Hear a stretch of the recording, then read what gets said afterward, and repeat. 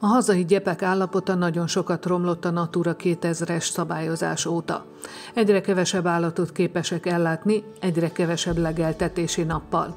Mindez a Magyar Agrár és Élettudományi Egyetem Kaposvári kampuszán, az egyetem és a Magyar Mezőgazdaság Kft. Agrárakadémia rendezvény sorozatának második állomásán hangzott el.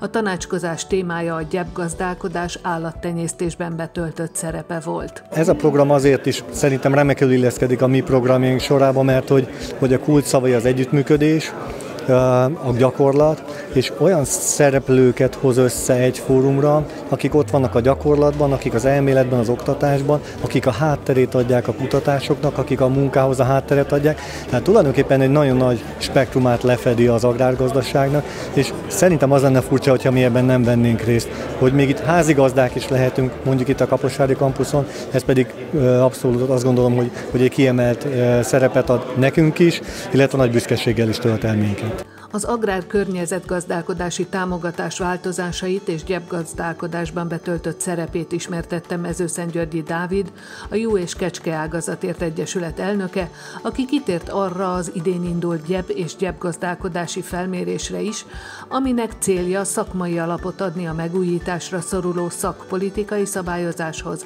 a döntésekhez. Aláhúzta, szerinte az ágazatnak nem csak múltja, hanem jövője is van.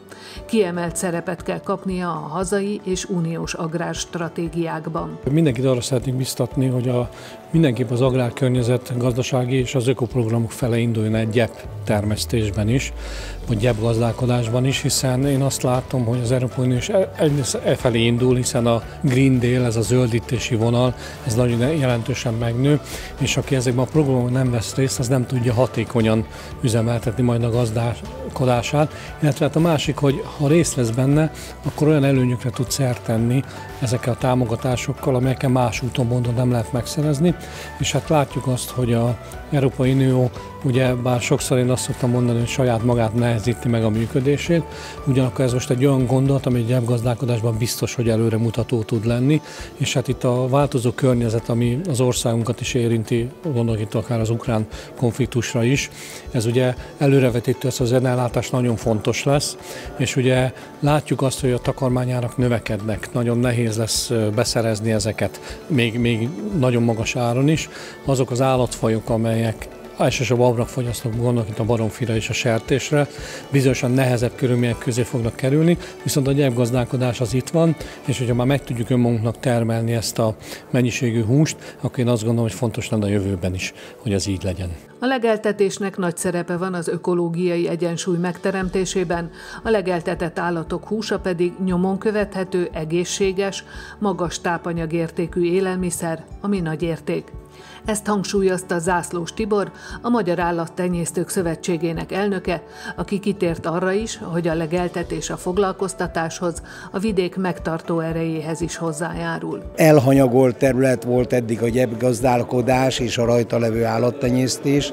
Nyilvánvaló ezt helyére kell tenni, ennek vannak jogszabályi eh, előírása is, jelenleg is, de hát ezt fejleszteni kell, és a későbbiekben ezen belül kell szabályozni az állattartás lehetőségét és jövedelmezőségét a gyepen, e, majd pedig a későbbiekben mindenképpen meg kell teremteni azt a lehetőséget, hogy a jövedelem viszonyok kiegyenlítődjenek e, a természetszerű tartás irányába, hiszen a természetszerű tartásnak a végterméke az egy nyomon követhető, szinte biotermék, rendkívül egészséges, és ma Magyarországon, amikor közel egy millió hektár gyepünk van, akkor vétek nem ezen a területen megtermelt húsmarha vagy birka húsát ennünk, és szüleink, gyermekeink és magunk asztalára tenni.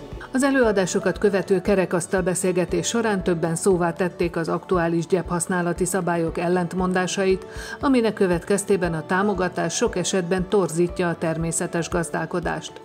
Fontos lenne, hogy a támogatás arra ösztönözze a gyephasználókat, hogy elsősorban legelőként hasznosítsák területeiket, és hogy életszerűbbé váljon a támogatási rendszer, például az öntözés, a vízelvezetés és a tápanyag utánpótlás területén. A megszólaló termelők szerint mielőbb tenni kell a jövő legelői érdekében.